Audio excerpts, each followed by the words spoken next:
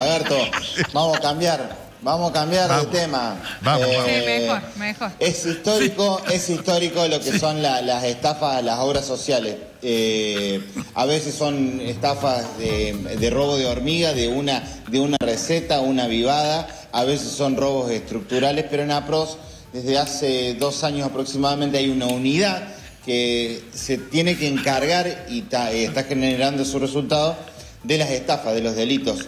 Bueno, estamos hablando, vamos a hablar con el abogado, con Sebastián eh, García, Sebastián García Petrini, porque hay uno particularmente, eh, doctor, que ha llamado la atención, que es usando el ardid de la, la esclerosis múltiple, una enfermedad que genera mucha sensibilidad cuando nosotros hacemos notas, por ejemplo.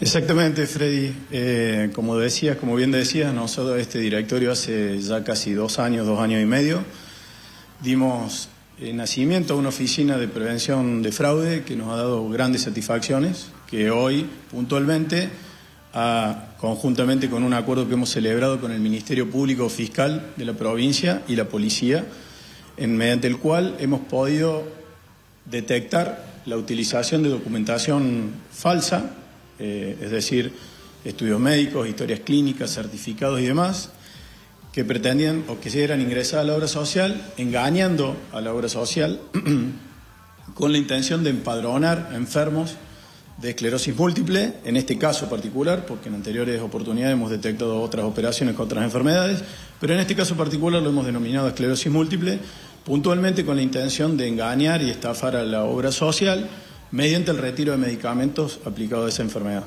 Ese retiro de medicamentos, para entender ustedes cuáles creen, si viene toda una etapa de investigación que definirá, pero ¿qué es lo que pasa? ¿Dónde está el rédito del delincuente o del estafador en, eso? ¿Vender después el medicamento en el mercado negro? Bueno, como, como te decía recién, esto tenemos, estamos bajo secreto de sumario, estamos a la espera todavía de los resultados de los allanamientos, que han sido 16 la semana pasada, según me informan, todavía no tenemos en concreto toda la información, pero puntualmente lo que buscan es, de esa manera, o buscarían estafar a la obra social mediante el retiro de medicamentos puntualmente denominados, o lo que nosotros denominamos de alto costo, es decir, por el alto costo que tienen esos medicamentos.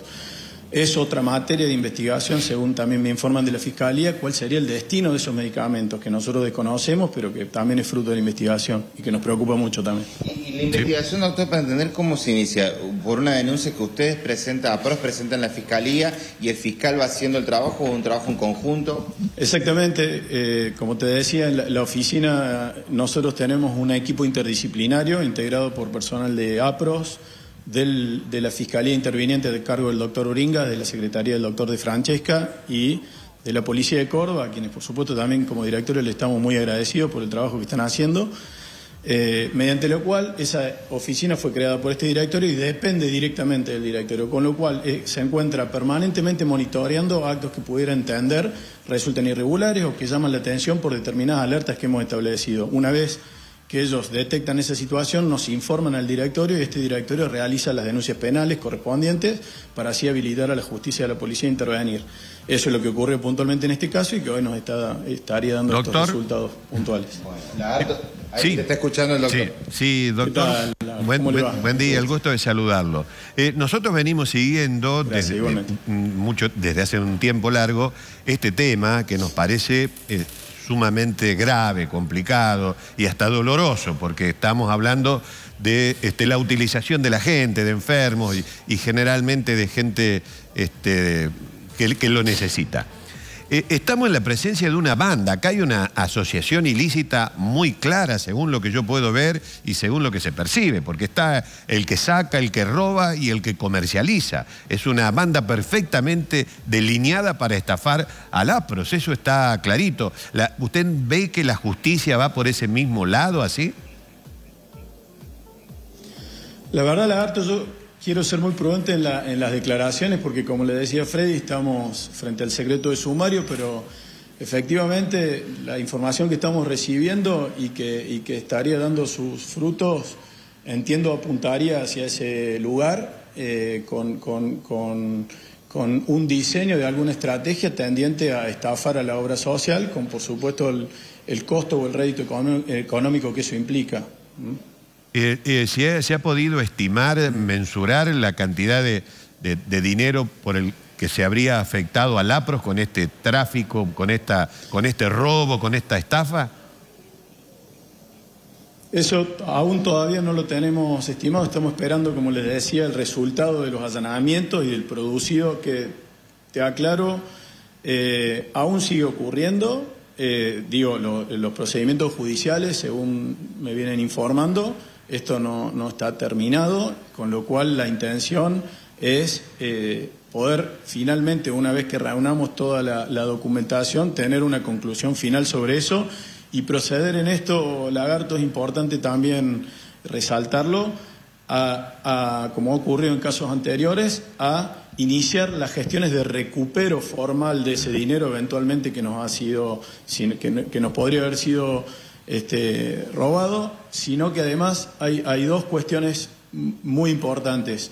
Una es, además, el recupero que implica, por supuesto, eliminar mes a mes ese, ese gasto, pero además Puntualmente, eh, esta oficina nos está permitiendo hoy detectar este tipo de eventos en tiempo real. Es decir, eh, a través de todos los procesos que ustedes ya conocen y que hemos venido charlando y discutiendo y que nos ha costado mucho como directorio poder implementar y que hoy nos está trayendo grandes satisfacciones, es decir, la utilización de la digitalización plena del proceso, el uso del token de seguridad, el uso de las claves de cada uno de los médicos que en forma personal cada uno tiene, hoy nos permite detectar con una serie de parámetros de alerta que hemos establecido en la oficina, poder relevar y detectar cualquier movimiento anormal que pudiéramos tener en ese sentido.